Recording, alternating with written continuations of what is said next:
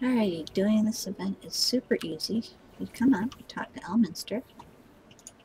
You get the quest, It's a Celebration.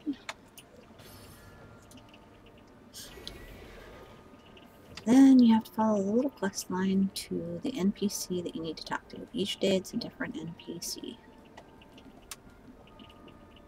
Today, it's the Dragon Lady.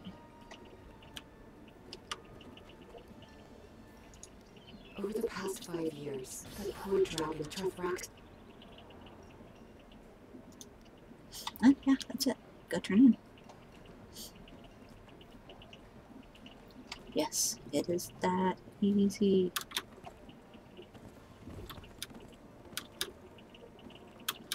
And I should have two coins on this character, so I guess I can get... I was going to wait and just get all five coins and then get the boxes, but...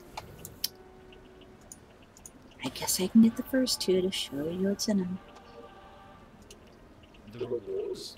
Oh, yes, there's all sorts of things. I think I have a list here.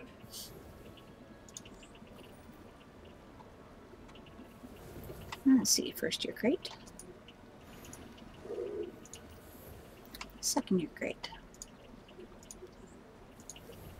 Tomorrow we'll be able to get the third, then the fourth, then the fifth, and the thank you crate.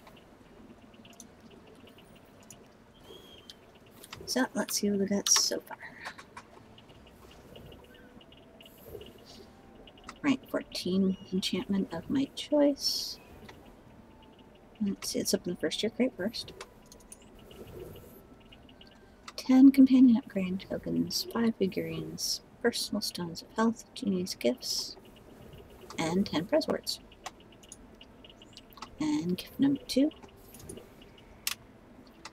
Anniversary transmute, 10 companion, 10 more, 5 tokens, greater health, genie's gift, 10 more to, um, press words. So yeah, they are they stack, they're cumulative, they're going to be fabulous. You should do this.